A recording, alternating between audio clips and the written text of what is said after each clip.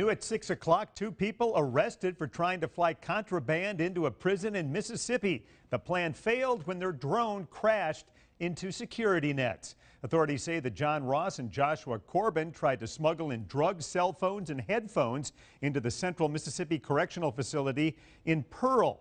The men confessed to the crime. Their drone is now in the hands of law enforcement and it's been reprogrammed and will now be used to monitor inmates at the Mississippi State Penitentiary in Parchman. Corbin and Ross are charged with a conspiracy and attempting to smuggle contraband into a prison.